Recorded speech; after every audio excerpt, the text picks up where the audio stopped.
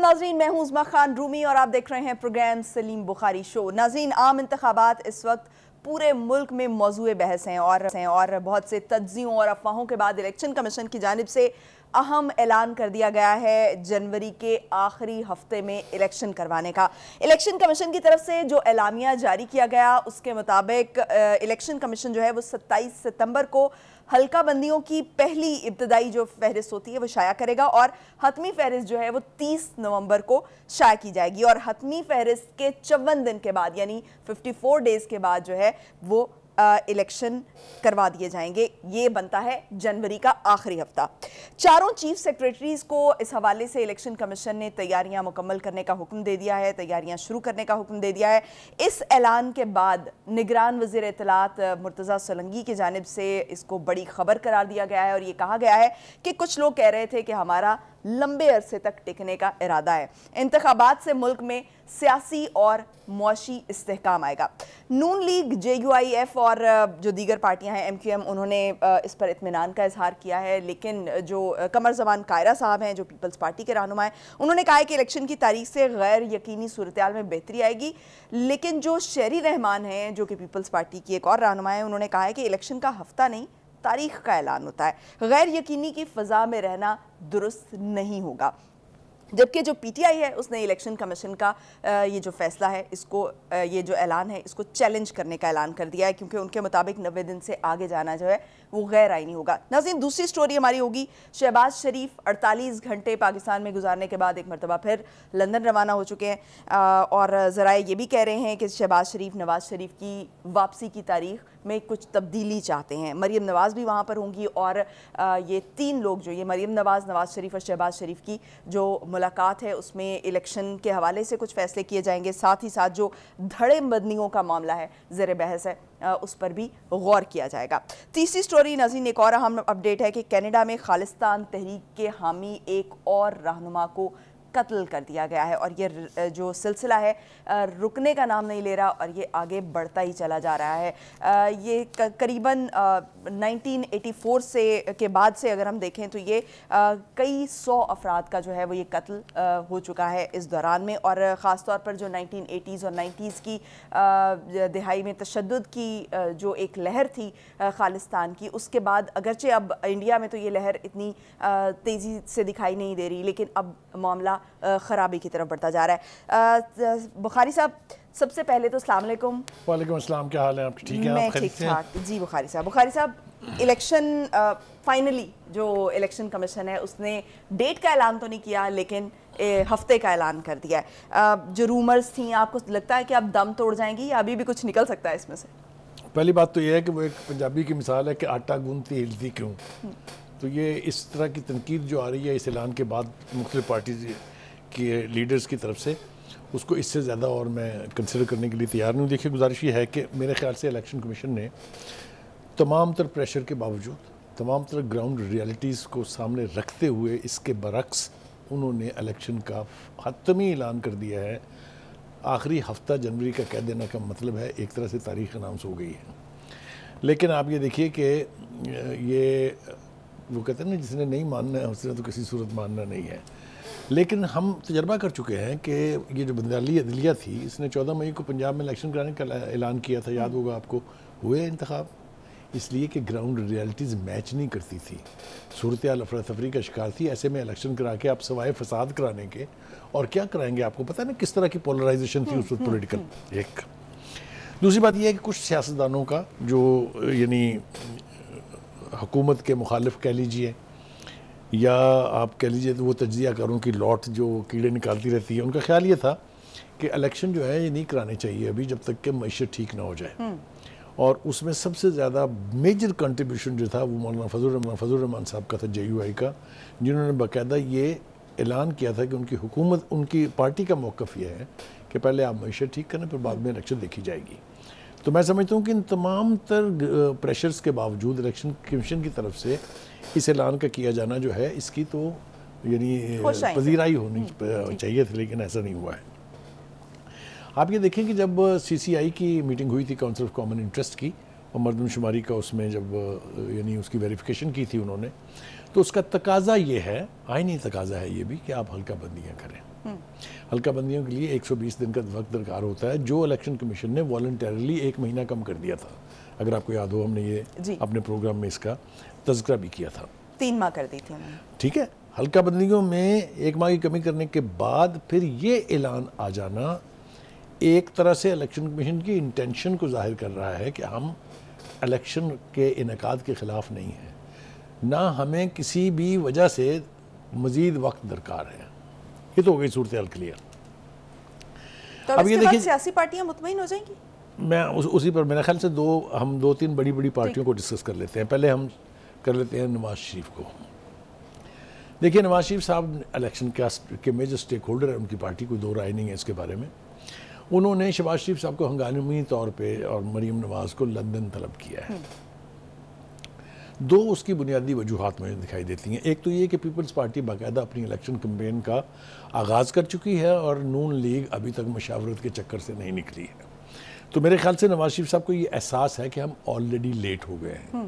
तो एक तो उनकी प्रायोरिटी ये होगी कि जितनी जल्दी भी इलेक्टर इलेक्शन स्ट्रेटजी फाइनल करके और लॉन्च कर देनी चाहिए। ठीक। और दूसरी बात यह है कि कुछ लोगों का ख्याल ये है कि वो एक ख़ास पैगाम लेके आ रहे हैं। इसकी हम अभी प्रोग्राम part में उसको लेकिन हैं। लेटर पार्ट में वो कर लेंगे। और बुनियादी तौर पर कुछ लोगों की इंटरप्रिटेशन ये है कि वो ये पैगाम लेके जा रहे हैं। और आप समझ लें पैगाम किसका है। आप इसको मिलिट्री इस्टेब्लिशमेंट कह लीजिए आप इसको इस्टेब्लिशमेंट कह लीजिए कोई भी नाम दे लें इसको कि जी आपने जजेस और जनरलों के ख़िलाफ़ जो बयानियाँ बनाया है इसको थोड़ा सॉफ्ट करें। इसके ऊपर तो इलेक्शन लड़ेंगे आप तो गड़बड़ होगी। तो जो तो मरियम नवाज़ ने भी इसी पे ये कहा ना कि हम मैं और नवाज़ शरीफ जो हैं हम इंतकाम की सियासत पे यकीन नहीं रखते। करेक्ट तो मेरे ख्याल से अगर आप इसको इस पूरे मंजरनामे में देखें तो पीपल्स पार्टी की तरफ़ से कायरा साहब ने ज़ाती कैपेसिटी में तो इसक, इसको वेलकम किया है लेकिन कहा कि पार्टी की मुशावरत के बाद हम इसके ऊपर बाकायदा रिएक्शन देंगे। लेकिन शेरी रहमान जिसका आपने अभी ज़िक्र किया उनकी अजीब मंतक है, उनका ख्याल ये है कि हफ़्ते नहीं, दिनों का, फिर वो कहेंगी नहीं, दिनों का नहीं, घंटों का, फिर वो कहेंगी घंटों नहीं, उसके साथ मिनटों का ज़िक्र नहीं है, मिनटों के बाद सेकेंड डेज़ तो ये कीड़े निकालने वाली जो बात है ना, ये अपनी जगह, लेकिन मेरे ख्याल से जो पॉजिटिव आस्पेक्ट है इस इलेक्शन कमीशन के, की अनाउंसमेंट का वो ये है कि इलेक्शन होने जा रहे हैं। इलेक्शन के बगैर कोई स्टेबिलिटी का ख्वाब भी आप नहीं देख सकते। इलेक्शन कमीशन चाहे आईएमएफ हो चाहे वर्ल्ड बैंक हो चाहे दुनिया के दूसरे इंस्टीट्यूशन हो सब मुतालबा कर रहे हैं हमसे। यूरोपीय यूनियन इसको मॉनिटर कर रही है बाकायदा कि आप इलेक्शन कराएँ यानी और वो जितनी जल्दी। वो जो गॉसिप हो रही थी या रूमर्स थी कि 2024 में भी कहीं इलेक्शन नज़र नहीं ये बिल्कुल कहा गया था तो कि जी जाएँगे। 2024 में भी शायद ना हो। मतलब ये कि इनडेफिनेटली उसको पोस्टपोन करनी वो तो मैं इसको अवॉइड कर रहा था लेकिन आपने मजबूर कर दिया। वो शटअप कॉल तो दे दी है इलेक्शन कमीशन ने कि बस भाई स्पेकुलेशंस बंद करें। ये ग्राउंड रियलिटी है हम इसके मुताबिक इलेक्शन कराने जा रहे हैं। ठीक हो गया।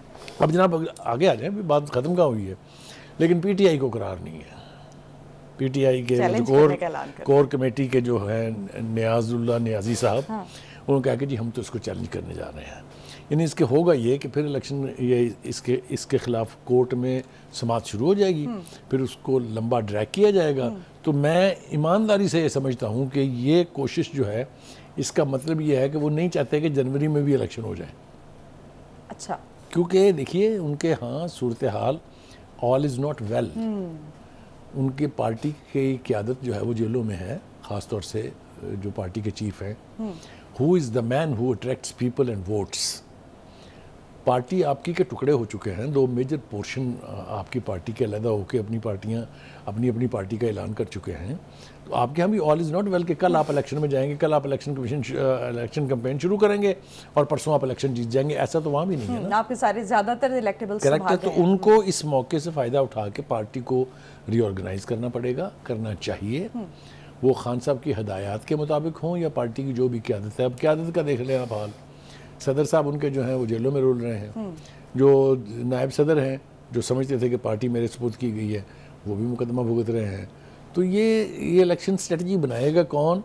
इस पार्टी को इकट्ठा कौन करेगा? ये काफ़ी मुश्किल अ, काम है ना। इलेक्शन से पहले मुहिम कौन चलाएगा और तो ये मेरे ख्याल से ये ठीक नहीं है। इलेक्शन को होने देना चाहिए उसमें रोड़े नहीं अटकाने चाहिए। तो ये मेरे ख्याल से रोड़े अटकाने वाली बात है। मुर्जा सुरंगी साहब जो हैं उन्होंने आज as a spokesman of the government ये कहा है कि हमारे बारे में स्पर्शंस कास्ट की जा रही थी कि हम ज़्यादा देर रहना चाहते हैं। आपको याद होगा ये बाज गश्त हमने भी सुनी कोई कह रहा था ये दो साल का रहेगी इन टर्म गवर्नमेंट कोई कह रहा था डेढ़ साल रहेगी। तो उन्होंने भी कह दिया कि जी हमारी भी इंटेंशंस जो हैं वो बिल्कुल वाजे हो गई हैं कि हम तो आए ही इलेक्शन कराने हैं और इलेक्शन करा के हम अपने घर चले जाएँगे। तो हैविंग सेड ऑल दिस जो इस वक्त ऐलान के मुताबिक डेट्स हैं वो ये हैं कि जी हल्का बंदियों की हतमी फहरिस्त जो है वो तीस नवंबर को शाया की जाएगी लेकिन उससे पहले सत्ताईस सितंबर को इसका ऐलान कर दिया जाएगा ताकि उसके ऊपर जिसको इतराज़ आता है कोई तब्दीली लानी है कोई चेंज लानी है तो वो सब कुछ कर सके। और उसके बाद वो कहते हैं आइन के तहत चुरंजा रोज़ हमें चाहिए चौवन रोज़ चाहिए हमें फिफ्टी फोर डेज़ और वो बनते हैं जनवरी का आखिरी हफ़्ता। मेरे ख्याल से हम अपने प्रो, इस प्रोग्राम की वसात से ये दरख्वास्त कर सकते हैं सियासी लीडरशिप को तमाम पार्टियों की लीडरशिप को कि अगर इस तरीके से इलेक्शन इंश्योर होने जा रहे हैं कि जनवरी में हो जाएँगे तो मेरे ख्याल से उनको अपना अपना हाउस जो है वो इन ऑर्डर करना चाहिए और इलेक्शन कमीशन को वो स्पेस देनी चाहिए कि वो ऐसे इंतज़ाम कर ले कि इलेक्शन ट्रांसपेरेंट फेयर एंड गैर जानबदार हो। ये बहुत बड़ा कंट्रीब्यूशन होगा अगर अगर इलेक्शन जो है वो कंट्रोवर्शियल नहीं है। तो मैं समझता हूँ इससे बड़ी खिदमत नहीं हो सकती। पाकिस्तान की तारीख में सिर्फ़ 1970 के इलेक्शन को कहा जा रहा है कि जी वो लार्जली फेयर थे इसलिए कि वो फौज की कस्टडी में मतलब निगरानी में हुए थे। उसके बाद से हर इलेक्शन जो हुआ है जो तकरीबन नौ के करीब हुए हैं वो सारे रहा। कंट्रोवर्शियल थे। तो मैं समझता हूँ कि इस एतबार से अगर देखा जाए तो ये इलेक्शन होने देना चाहिए ताकि पार्टियों को अपने आप को ऑर्गेनाइज करने का मौका भी मिले इलेक्शन कमीशन को तैयारियों का मौका मिले। जैसा मैंने कल भी कहा था प्रोग्राम में कि बाकायदा स्टाफ इसके लिए तय होगा स्टाफ डिराइव किया जाएगा मुख्तलिफ़ महकमों से अदलिया से ज़्यादातर लोग आएँगे फिर उनकी ट्रेनिंग होगी फिर ये publication of all the votes and everything काफ़ी लंबा चौड़ा प्रोसेस होता है। इट्स ए तो गैम्बिट बुखारी साहब इस सत्ताईस सितंबर को अगर पहली फहरिस्त छाया की जाती है और उसके बाद जो है अगर इस तरह से करके जैसे अभी आपने भी कहा कि सियासी पार्टियों के जो एतराज़ात होंगे उनको ख़त्म करने की कोशिश की जाएगी तो आपको लगता है कि जो आखिरी फहरिस्त जो तीस नवंबर की डेट दी गई है अगर इस दौरान में अगर ये हल्का बंदियों पर एतराज़ होता है तो इसको भी एड्रेस तीस नवंबर तक किया जा सकेगा? देखिए वो, जो ऑलमोस्ट तकरीबन एक महीना है वो सिर्फ़ इनको एड्रेस करने के लिए और इनकी रेमेडी प्रोवाइड करने के लिए है। ठीक है। इलेक्शन कमीशन में कैपेसिटी है। इलेक्शन कमीशन को करना पड़ेगा। तभी तो जनवरी में आप इलेक्शन कराएँगे। ना तो वो चाहे वॉर फुटिंग पे काम करें चाहे वो ओवर टाइम करें चाहे रात दिन करें वो उनको मीट करनी पड़ेगी क्योंकि ये डेडलाइन जो उन्होंने अनाउंस की है now parties will take it seriously right अब इसमें तो ये नहीं हो सकता ना कि आप इस, इस तारीख पर भी कोई बहाना ढूंढ लें बहाना बहाना अब नहीं चलेगा। It's a formal announcement by the election commission thirty November को हो। जाएगी अच्छा जाते जाते क्योंकि मुझे ब्रेक लेने का भी कहा जा रहा है। बुखारी साहब जाते जाते मैं जो नबे दिन के अंदर इलेक्शन कराने की जो पीटीआई की तरफ़ से और जमात इस्लामी की तरफ़ से और कुछ सुप्रीम कोर्ट बार एसोसिएशन की तरफ़ से जो पिटिशंस गई हैं सुप्रीम कोर्ट में उस हवाले से मैं बात करना चाहती हूँ कि क्या सूरत हाल होगी कि अगर आपको ये लगता है कि ये मामला जो है वो ये भी कोर्ट में जाएगा ये यहाँ पर हल हो जाएगा। क्योंकि अगर फुल कोर्ट बैठ भी जाता है तो भी नब्बे दिन के अंदर इलेक्शन जो हैं वो पॉसिबल नहीं है। जहाँ तक ताल्लुक उन पटिशंस का है वो जब तक इलेक्शन कमीशन की तरफ़ से ये अनाउंसमेंट नहीं की गई थी उसकी जस्टिफिकेशन थी to pressurise the election commission to announce a date आपने देखा होगा पीपल्स पार्टी की कंपेन ये थी कि भाई आप सौ दिन में कराएँ आप 120 दिन में कराएँ हमें डेट दें। तो मेरे ख्याल से इन पटिशंस की ये वैसे ही फ्रक्चुअस हो जाएँगी। ठीक है। क्योंकि कोर्ट्स भी कहेंगी कि जनाब अब तो बाकायदा इलेक्शन कमीशन की तरफ़ से ऐलान हो चुका हुआ है। लिहाजा आप जाके तैयारी करें और इलेक्शन लड़ें। तो मैं नहीं समझता कि इससे कोई अपसेट होने जा रहा है। इन इन पटिशंस का जवाब कोर्ट की तरफ़ से ज़ाहिर है नोटिस करेंगे इलेक्शन कमीशन को। इलेक्शन कमीशन आके बताएगा कि जी ये शेड्यूल है। इसके मुताबिक इनसे क्या तैयारी करें और इलेक्शन लड़ने ठीक हो गया जी।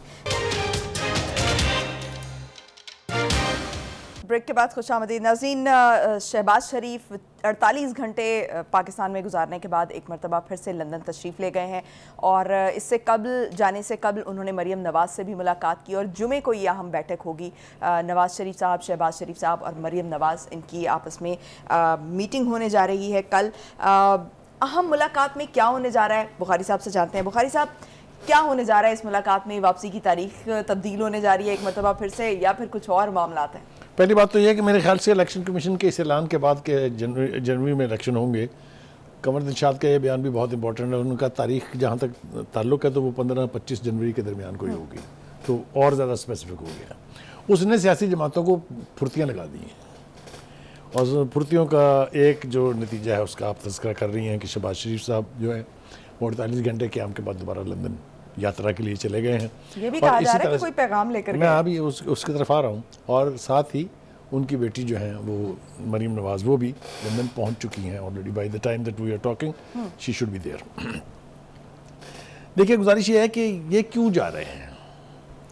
एक तो मैंने आपसे कह दिया कि चूँकि इलेक्शन का ऐलान हो गया है बाकायदा अब तो लिहाजा इलेक्शन कैंपेन के हवाले से जिसकी हम तफसील से बात बाद में। करते हैं। लेकिन एक तासुर यह है कि वो एक पैगाम लेके जा रहे हैं नवाज़ शरीफ साहब के लिए और वो ऑब्वियसली आपको पता है वो पैगाम किसका है कहाँ से है किसने दिया है। वो ये है कि आप अपने बयानिए को थोड़ा नरम करें जो आप जजेज़ और जनरलों के एहतसाब की बात दोबारा से करने लगे हालाँकि दोबारा से नहीं है ये। अगर आपको याद हो तो पाँच के टोले का तस्करा तो कई महीने पहले हमने सुन लिया था ना जब उन्होंने पहली दफ़ा हदायत दी थी मरीम नवाज़ मरीम नवाज़ को और शबाज शरीफ को कि आप बयानियाँ स्ट्रॉन्ग करें। तो पाँच के टोले का फिर हमारे सामने नाम भी आ गए वो कल ही हमने अपने प्रोग्राम में वो नाम भी बताए थे। तो एक पैगाम तो ये है कि जनाब आप अपना ये जो खौफनाक बयानिया है इसको ज़रा थोड़ा सा ठीक करें। हाथ वाला रखें। ये बयान लेके शबाज शरीफ साहब इसलिए गए हैं कि ये तासुर है उनकी पार्टी के अंदर भी पार्टी के बाहर भी कि he is a person who is acceptable to the establishment और इसकी बेपना शवाहद मौजूद हैं उस, उसका मेरे ख्याल से तस्करा ज़रूरी नहीं है। और दूसरा ये कि वो कई एतबार से अपनी पार्टी और इस्टेब्लिशमेंट के बीच एक लिंच पिन का रोल हमेशा से अदा एक करते रहे। रहे हाँ ही इज़ ए ब्रिज चलिए जनाब ये भी हमने कह दिया। अब दूसरी तरफ़ हम देख रहे हैं कि जी मरीम नवाज़ जो है वो चाहती हैं जो शबाज शरीफ साहब हैं वो मेरे ख्याल से नवाज़ शरीफ साहब को ये पैगाम भी देंगे कि आप अपनी वापसी अभी कुछ देर के लिए ताखीर कर दें अच्छा उसकी वजह? उसकी वजह यह है कि जब तक आप अपना बयानिया नहीं बदलेंगे तो आप तशरीफ़ ना ही लाए तो बदलने में कितनी देर लगती है वो नवाज़ शरीफ साहब जिसका नाम है नवाज़ शरीफ वो काफ़ी क्या कहते हैं टफ आदमी है इतनी जल्दी वो कन्विंस भी नहीं होंगे और इतनी जल्दी वो मानेंगे भी नहीं। लेकिन ये तो मरीम नवाज़ ने भी कहा है ना मरीम नवाज़ ने भी अपने जलसे में एक जो कल ख़ताब किया उन्होंने भी कहा है कि मैं और नवाज़ शरीफ जो हैं वो इंतकाम लेने पर यकीन नहीं रखते। उसको ज़रा जो देखिए इंतकाम इंतकाम लेना ये बिल्कुल ठीक सियासी बयान है कि हम we don't believe in revenge लेकिन साथ साथ वो इसरार कर रहे हैं कि वो जिन्होंने उनकी हुकूमत का तख्ता उल्टा था वो जिन्होंने उनको सियासत से बाहर किया था उनको किसी सूरत ना छोड़ा जाए। लेकिन उन्होंने ये कहा कि आवाम का सामना करने की पोजीशन में नहीं है आपको करेक्ट वो सामने लेकिन वो ये कह रहे हैं कि इनको छोड़ा ना जाए। यानी उनका ट्रायल होना चाहिए। ये बड़ा सख्त बयानिया है ना। आप देखिए ना हमने कल ही तो तस्का किया था कि एक एक तजर्बा हो चुका है ना। तो क्या हुआ था उसका फिर? तो इसलिए मेरे ख्याल से तो जो, जो मरियम है वो ये चाह रही हैं कि कुछ भी हो जाए अब नवाज़ शरीफ को गिवन डेट 21 अक्टूबर को वापस आ जाना चाहिए। और मेरे ख्याल से उनका इसरार जो है वो बिल्कुल ठीक भी है। आप देखें उनकी पार्टी के अंदर भी दो धड़े हैं। एक वो डेडिकेटेड वर्कर और लीडर्स हैं जो नवाज़ शरीफ के साथ जुड़े हुए हैं जो भी वो कहें जो भी वो करें उसके साथ हैं। दूसरे वो शबाज शरीफ साहब अनदर फैक्टर जो प्रो इस्टेब्लिशमेंट भी हैं। और कुछ ऐसे M N M P S भी हैं जिसका तस्करा जो है हम बाद में करेंगे। वो जो इसके इस, का इस- इसके साथ तहफात का इजहार भी कर रहे हैं। तो कहने का मतलब ये है कि नवाज़ शरीफ के लिए अब इस मामले को फौरी तौर पे हैंडल करना ज़रूरी है।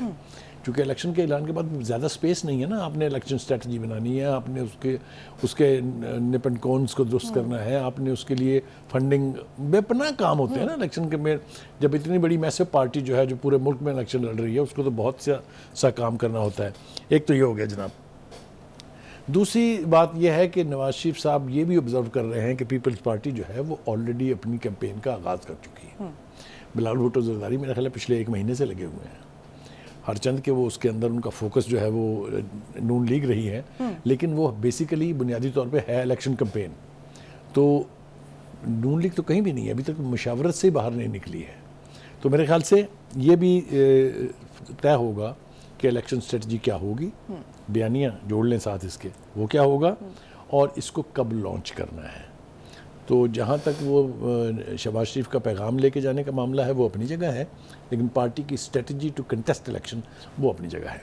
अच्छा लेकिन आप, आपको क्या लगता है कि नवाज़ शरीफ जो है वो अपने बयानिए में तब्दीली लाएँगे? और अगर वो बयानिए में तब्दीली लाएँगे आ, तो उनकी पोजीशन क्या होगी? वो इस्त, जो इस्तेलाह मैं इस्तेमाल करना चाहता था आप मुझे मजबूर कर रही है उसको। Is a hard nut to crack उन्होंने अपनी तीन हुकूमतें कुर्बान की हुई हैं अपने इसी बयानिए की खातिर। याद है ना आपको? चार वो आर्मी चीफ से लड़े तीन वो चीफ जस्टिस से लड़े। और तीनों दफ़ा अपनी हुकूमत भी खोई उन्होंने तो वो आसान काम नहीं, नहीं है। तो इस मरतबा उनकी पोजीशन क्या देख रहे हैं आप? देखिए दावा भी ये है कि जब वो वापस आएँगे पंजाब में तो पंजाब रिस्पॉन्ड करेगा। तारीख उठा के देख लीजिए जिस पार्टी ने पंजाब में बेहतर परफॉर्म किया है उसी ने सेंटर में हुकूमत बनाई है। वो चाहे पीपल्स पार्टी थी चाहे नवाज़ शरीफ साहब थे चाहे पीटीआई थी सबने क्योंकि पंजाब की सीटें जो हैं बाकी तीन सूबों के ऑलमोस्ट बराबर हैं। ठीक। तो पंजाब चूँकि वो क्लेम करते हैं कि मेरा गढ़ है is a hub of P M L N तो ज़ाहिर है ऑब्वियसली उनकी तो भी उसके एन मुताबिक होंगी।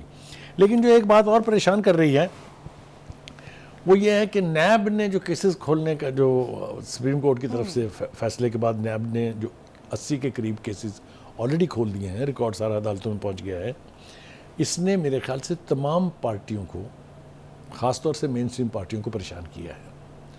बेपनाह मुकदमा पीपल्स पार्टी के लोगों के खिलाफ है including Asif Ali Zardari including Faryal Talpur including Bilawal Bhutto Zardari including वगैरह वगैरह वगैरह। सिमिलरली इस इधर भी वो पीपल्स पार्टी में भूल गए यूसुफ रजा गिलानी राजा परवेज अशरफ नेम देम इसी तरह से इधर भी है। शहबाज शरीफ के खिलाफ केसेज हैं हमजा के के खिलाफ केस है नवाज़ शरीफ के खिलाफ केस है मरीम के खिलाफ। तो मैं एक पंडोरा बॉक्स खुल गया है।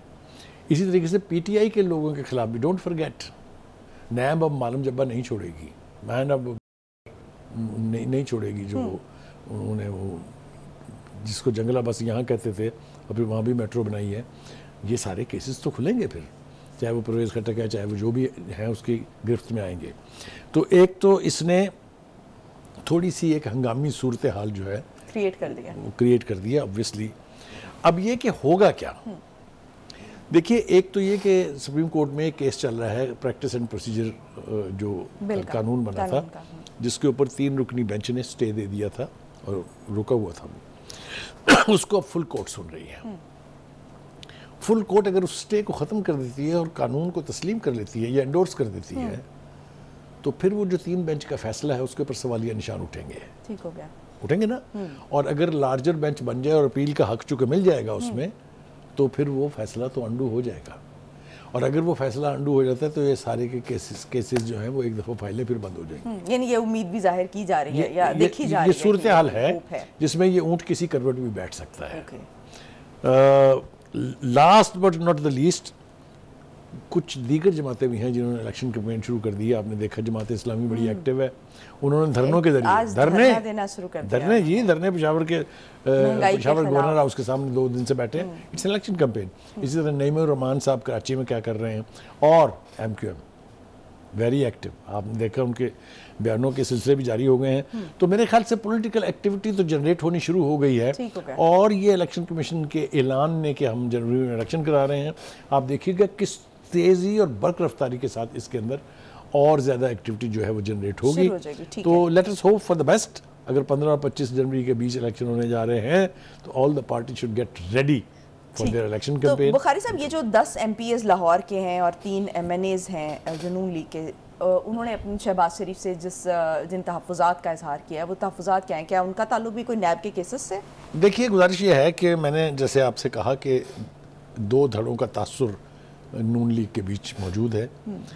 इसलिए दो तरह के लोग हैं। एक वो जिनको इस 16 माह की हुकूमत के बीच किसी किस्म की कोई लिफ्ट नहीं कराई गई। They feel ignored they feel bypass they feel superseded उन लोगों का ख्याल ये है कि जो नवाज़ शरीफ के इलेक्शन के लिए जो तैयारियाँ हो रही हैं जो लोग फोर फ्रंट पर हैं हमें उसमें भी शामिल नहीं किया गया। तो मैं तो ईमानदारी से समझता हूँ कि ये वो एम एन एज और एम पी एज हैं जो शबाज शरीफ वाले धड़े में हैं। कंप्लेन कर रहे हैं ना वो।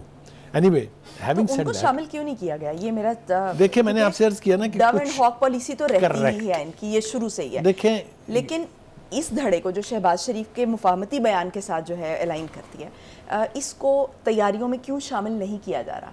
देखिए बहुत सारे लोग ऐसे हैं जिनको जो मरीम नवाज़ के करीब हैं। मरीम नवाज़ पार्टी की चीफ ऑर्गेनाइज़र हैं।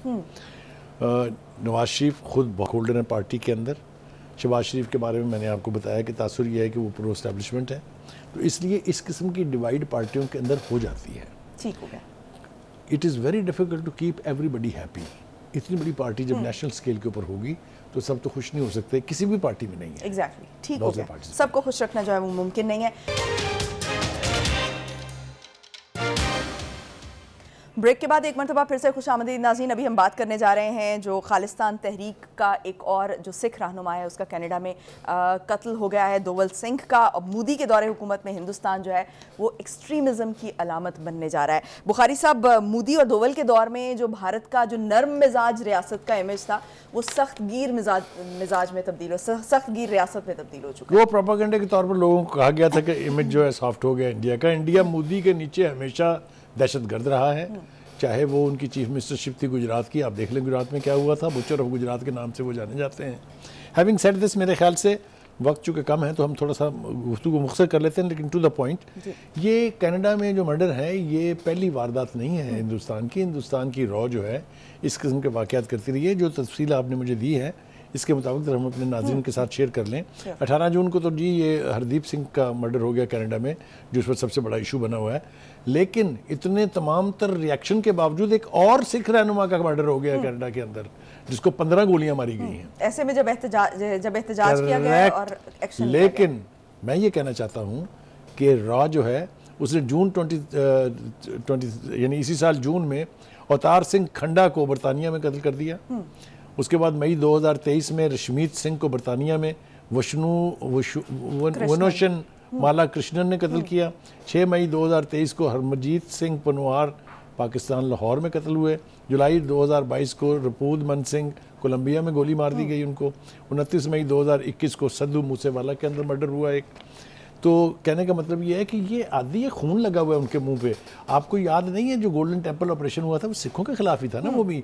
उसके अंदर भी पाँच सौ चौवन लोगों की अमवात हुई थी जरनैल सिंह भिंडरा वाला समेत अगर आपको याद हो। उसके बाद 1180 लोग उसमें ज़ख्मी हुए थे। 83 जो है वो लॉ इन्फोर्सर जो है उनकी जाने गई थी। तो ये ब्लड लगा हुआ है उनके मुँह को ना। चाहे वो मुसलमान हों चाहे वो ईसाई हों चाहे वो सिख हों nobody is safe in India having said that एक आपको मैं और बात याद दिलाना चाहता हूँ एक अब्दुल नामी शख्स थे जो पाकिस्तानी थे बरतानिया में रहते थे 1987 में। वो उसके ऊपर इन हिंदुस्तान की राह को ये शक था कि जो अलदगी पसंद है ये उनको बना देते हैं। सपोर्ट कर क्योंकि उस वक्त तक बरतानिया के अंदर मर्डर प्लान करना आसान नहीं था। लिहाजा they waited for him to come to Pakistan महीनों उसका इंतज़ार किया गया उसकी रैकी की गई। The moment he landed here he was murdered और इन हिंदुस्तान ने उसका नाम रखा था उस ऑपरेशन का ऑपरेशन हारनेट तो ये खून मुँह लगा हुआ है मोदी के भी और हिंदुस्तान के भी। इसलिए ये कार्रवाइयाँ पूरी दुनिया के अंदर चल रही हैं और जितना रिएक्शन स्ट्रॉन्ग आ रहा है पहली दफ़ा मुझे इस बात की खुशी ज़रूर है कि जो वेस्ट जो है जिन्होंने अपने सारे अंडे जाके हिंदुस्तान की टोकरी में डाल दिए थे उनको अब ये एहसास हो रहा है कि ये हमसे गलती हो गई है। जो वो ठीक था अमेरिका की उस वक्त की लीडरशिप जिन्होंने मोदी को वीज़ा देने से इनकार कर इसलिए किया था कि आप दहशत गर्द हैं दहशत गर्द को अमरीका में दाखिला की इजाज़त हम नहीं दे सकते। वो अचानक जो है वो उनके डार्लिंग बन गए और उसकी वजूहत आपको पता है चाइना का बढ़ता हुआ जो तसलुत तो खैर गलत लफ्ज़ है इन्फ्लुएंस जो है ये उनको काबिल कबूल नहीं है और उसके लिए वो हिंदुस्तान को एक शील्ड के तौर पर एक बफर जोन के तौर पर एक रास्ते की रुकावट के तौर पर इस्तेमाल करना चाहते हैं। लेकिन जब उनके अपने मुल्क के अंदर राह की एक्टिविटीज़ जो है वो नोटिस की गई हैं तो अब उनकी निकल रही हैं चीखें।